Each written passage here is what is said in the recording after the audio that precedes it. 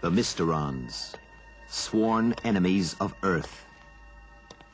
Possessing the ability to recreate an exact likeness of an object or person.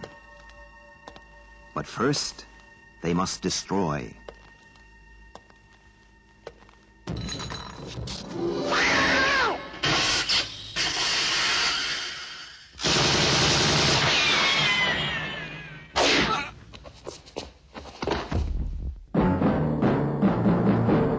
Leading the fight, one man fate has made indestructible. His name, Captain Scarlet.